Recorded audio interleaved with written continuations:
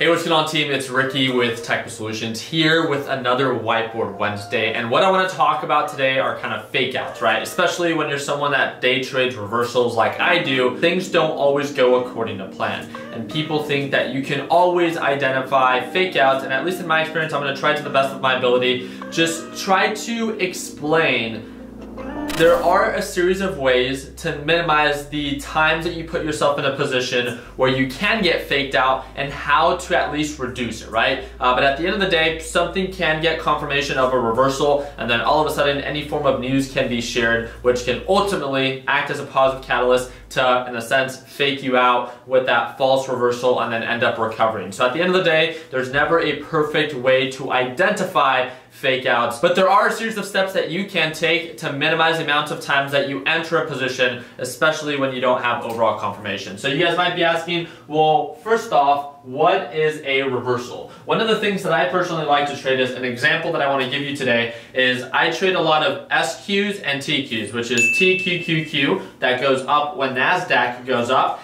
and SQQQ, which goes up when NASDAQ goes down. So they're inverse ETFs, they're just my niche, they're my focus, and whatever the case may be, I just want to use them as an example. Today, when the market opened, TQs began to indicate signs of an uptrend. So it became super overbought where the RSI, the MACD, all of that, again, we like to use those as references, never a specific reason on why we choose to take that position, but it became so overbought based off of previous trading prices that it was approaching a resistance level. And when I see that, again, I like to trade reversals, I begin to take a small position size. So I take like a 10% position size of what I normally trade with. And an example can be if you trade with $1,000 that you enter with $100 until you have confirmation that it breaks below the EMA line, that it begins to make lower lows because when this begins to sell off, the inverse, which is what I was uh, trading, then goes up. So then once we get confirmation that forward slash NQ breaks below the EMA line and indicates signs of a downtrend,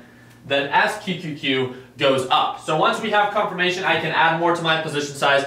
But one of the things that we experience today is, like you guys are seeing right now, forward slash NQ is thriving today, which is absolutely amazing. And if you guys have noticed for the past two to three days, it pulled back a little bit and it looks like as of today, it is recovering what it lost for the past two to three days. So right now, TQs and forward slash NQ is very bullish. And it is creating a lot of false reversals, meaning that it's showing signs of a potential resistance. It begins to consolidate at a specific price point. It begins to indicate signs of almost a descending pattern, and then it quickly recovers and then makes new highs. And this is where these fake outs tend to happen. And one of the best things that I can say is, as of right now, as you guys can see somewhere on the screen, I took a little bit over, first of all, I took a little bit over of a $300 loss, then it went up to a $500 loss, and then I was able to recover at a $300 loss for the day. And this is just the position that I put myself in is, although I was being very careful with my position size, if you tuned into the live trading session today, uh, my trading wasn't perfect, but my position size was not super aggressive. Why? Because I was trading SQs, that again is the inverse. And as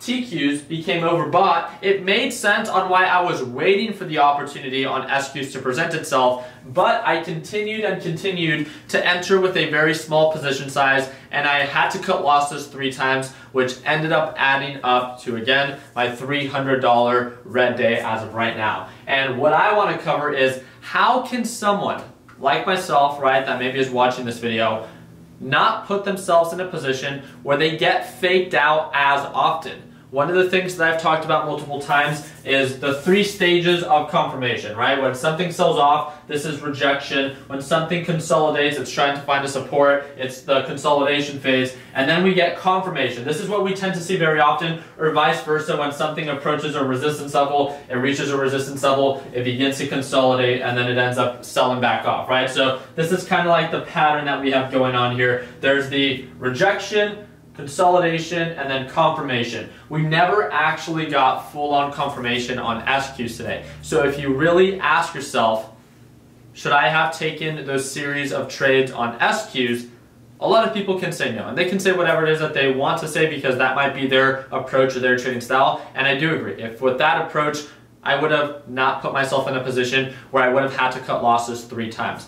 But one of the things that I like to do is during the consolidation phase, I don't like to go all in with my position size. I just like to go with around 10 or 20%, a fraction of what I normally trade with to get some skin in the game. So if we do get confirmation, I can then follow up and average up as it indicates signs of an uptrend. Unfortunately, TQs is simply just very bullish today. So the whole premise of this video is although I personally do like trading reversals, if you are someone that wants to be even more conservative when trading and allowing an opportunity to present itself, then waiting for full-on confirmation would in a sense be one of the best ways to avoid fakeouts. TQs never really broke its pattern and continued to indicate signs of an uptrend. And although it was showing signs of it being overbought, it never corrected itself because it's so bullish on the day. And this is just one of the things that we also talked about within the Learn Plan Profit live trading session today is that TQs and forward slash NQ, the overall market right now is a freaking machine. It, it's a machine and again, some days are very rewarding where I can hit over $1,500 profit within one to two hours.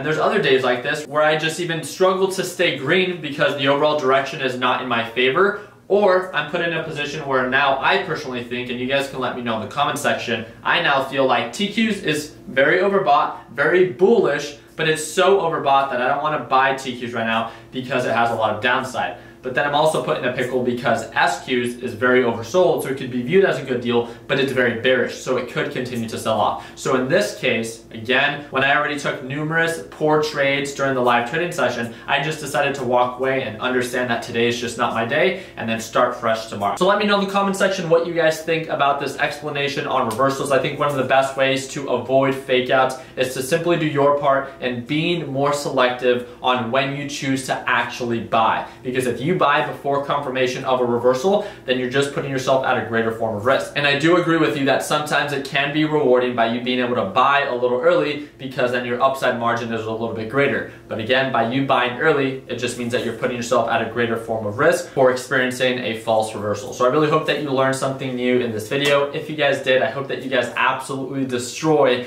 that like button. And don't forget to stay connected. You guys can click the first link down below to connect with a little bit over 288,000 like-minded individuals. And again, if you guys want to watch me trade live as soon as tomorrow, join us tomorrow at Market Open. And that's that second link down below to learn a little bit more about the Learn Plan Profit Group. Until then, we'll see you guys on the next one. Take it easy, team.